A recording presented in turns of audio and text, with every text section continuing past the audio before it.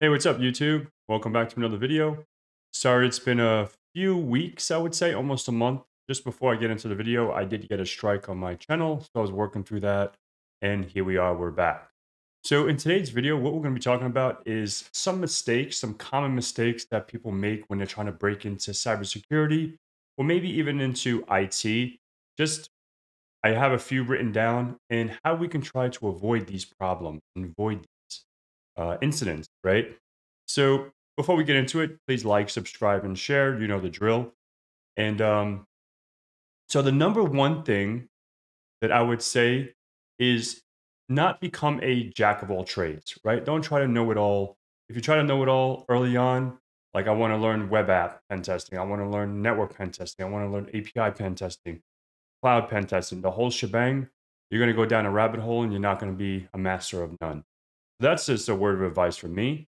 So, for example, like I wanted to be an ethical hacker, I wanted to be a pen tester, I wanted to be that, like, or network security, you know, consultant, whatever you want to call us, right?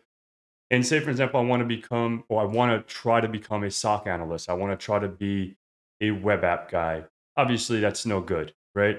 Just have your, like your your, your specific uh, niche that you want to do and focus on that. And you can branch out after that. That's the number one thing that I would say. Avoid being a jack of all trades, right?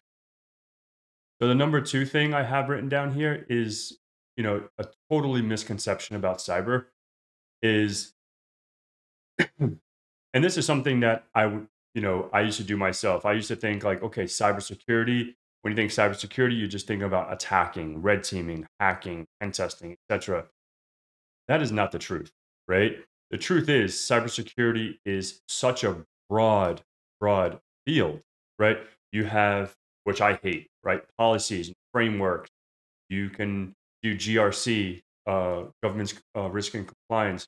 You can do blue teaming. You can do forensics. You can, you know, it, it's endless. You can just Google cybersecurity jobs or cybersecurity industries, and you'll see a whole boatload of uh, of different kinds of tactics and different kinds of tasks you can take on as a cybersecurity expert.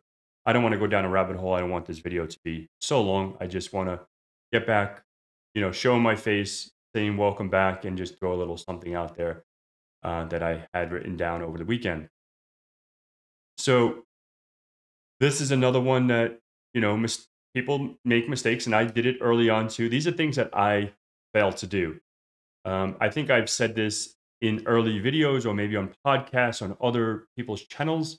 I didn't like to network with people, right? I didn't like people knowing who I was. I was the total opposite that I am now. Like before, I wouldn't go on a camera if you paid me a trillion dollars, right? I didn't want to network. I didn't want people to know who I was, and I'd rather be anonymous and under the radar. I didn't like people knowing who I was. So failing to network is is a, is a mistake, right? So like I said, I didn't market myself. I didn't put myself out there. I didn't ask for help. I didn't do any of that stuff early on. Now, I like when people share my videos. I like when people share my content on LinkedIn, on Twitter, on Instagram, or whatever platform I'm on, just so that you guys can uh, you can see it, it's visible, and you guys can learn from it as well, right? So the community that we have here is such a welcoming community in cyber. You know, I can't speak on any other thing, uh, any other field or any other uh, space. But cyber, we're you know we're super welcoming. So reach out if you have any questions. You know, you can reach out to me. I don't know it all, but I think I know enough to maybe guide you in the right direction, and I know a lot of people, right? So that's number three, right? Failing to network with folks and, and putting yourself out there. And the fourth one here that I have is imposter syndrome, right? that we can go down a pitfall, right? Don't let imposter syndrome hold you back from applying for jobs. Uh, letting hiring managers meet you, uh, learning new things. There's, you know, whether you're a good fit or not, apply for that job, right? And what I found was we can't learn it all on one single thing, one single go. But you know, if you take a little piece of the pie every single day, you put a piece of that puzzle in that puzzle that you do every single day, sooner or later that puzzle is going to grow and you're going to put that full puzzle together, right? That's, I don't even know. I just came up with that. But yeah, that's the number four. And the fifth one I have here is the certification certification overload, right? This is another thing I had in my earlier career, right? I thought, you know, learning about Microsoft and Cisco, Palo Alto, Checkpoint, SonicWall, blah, blah, blah. The list goes on about all the technologies I've learned over the years.